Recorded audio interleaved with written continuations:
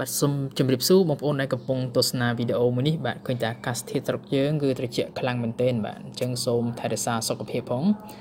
ថ្ងៃនេះយើងទៅរកមើលអត្ថបទដែលពាក់ព័ន្ធជាមួយនឹងអាកាសធាតុត្រជាក់ដែរគឺយើងទៅមើលក្រុងចំនួន7ដែលមានសីតុណ្ហភាពត្រជាក់រហូតដល់ទៅដក40អង្សាអញ្ចឹងចង់ដឹងថាតើក្រុងនោះទីក្រុងអ្វីខ្លះហើយនៅប្រទេសណាខ្លះតោះយើងទៅមើលទាំងអស់គ្នាបាទ អាកាសធាតុប្រទេសកម្ពុជាបានធ្លាក់ចុះយ៉ាងខ្លាំងដែលទៅតែចុះប្រមាណជា3-4ថ្ងៃនេះប៉ុណ្ណោះហើយតំបន់ដែលត្រជាក់ជាងគេនៅកម្ពុជានោះគឺខេត្តព្រះវិហារដែលមានសីតុណ្ហភាពម្ដុំជា13អង្សាសេហើយនឹងបន្តត្រជាក់ទៀតរហូតដល់ដើមខែមករាឆ្នាំ2018នេះថ្ងៃនេះសូមនាំអារម្មណ៍ប្រិមិត្ត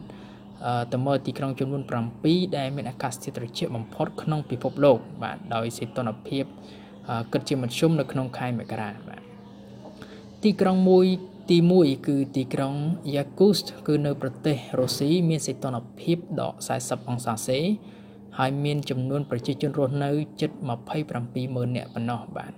នេះបើយោងតាមជំរឿននៅឆ្នាំ2010ជាគឺប្រទេសរុស្ស៊ីបាទចំណែកឯទីក្រុងទី2នោះគឺ Norilsk គឺនៅប្រទេសរុស្ស៊ីដដែលហើយសីតុណ្ហភាពដក30អង្សាសេ មានប្រជាជនរស់នៅជាង17,000នាក់ យោងតាមជំរឿននៅឆ្នាំ2010ដូចគ្នាបាទអញ្ចឹងនៅប្រទេសរុស្ស៊ីមានទីក្រុង2ហើយបាទចំពោះទីក្រុងទី3បាទទី3គឺនៅទីក្រុង Yellowknife គឺនៅប្រទេសកាណាដាបាទសីតុណ្ហភាពដក27.9អង្សាសេហើយមានប្រជាជនរស់នៅជិត20000នាក់នេះបើយោងតាមជំរឿនឆ្នាំ2016បាទគឺជាង20000នាក់ប៉ុណ្ណោះជិត20000នាក់ប៉ុណ្ណោះប្រជាជនដែលរស់នៅក្នុងតំបន់នេះបាទ គឺនៅប្រទេសកាណាដាយើងអាចមើលរូបភាពក៏ឃើញដែរសុទ្ធតែទឹកកកតែម្ដងបាទលំដាប់លេខ4គឺនៅទីក្រុង Barrow នៅក្នុងរដ្ឋ Alaska សហរដ្ឋអាមេរិកសីតុណ្ហភាពវិញគឺដក25អង្សាសេហើយមានប្រជាជនរស់នៅ ជាង4000នាក់ប៉ុណ្ណោះនេះបើយោងតាមជំរឿននៅឆ្នាំ2010បាទគឺជំរឿនចាស់ចាស់ឥឡូវនេះម្ដុំជាច្រើនច្រើនជាងមុនហើយបាទអញ្ចឹងសហរដ្ឋអាមេរិកបាទបន្តមកទៀត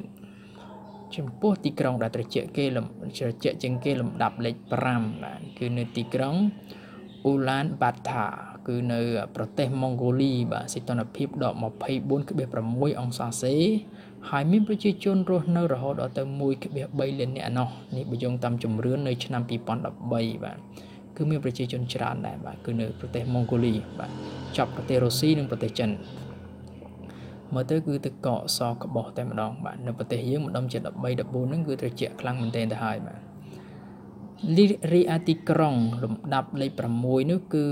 ទីក្រុង International Falls គឺនៅរដ្ឋ Minnesota របស់សហរដ្ឋអាមេរិកគឺមានសីតុណ្ហភាពដក15អង្សាសេហើយមានប្រជាជនរស់នៅ ជាង6000នាក់នេះបើយោងតាមជំរឿននៅឆ្នាំ2016ថ្មីថ្មីនេះបាទសូម្បីតាឡានដាក់តាមផ្លូវក៏កកអស់ដែរបាទ ទីក្រុងត្រជាក់លំដាប់លេខ7នៅក្នុងពិភពលោកនោះគឺទីក្រុងអូស្តាណាប្រទេសកាសាស្ថានបាទគឺនៅអាស៊ីកណ្ដាលសីតុណ្ហភាពដក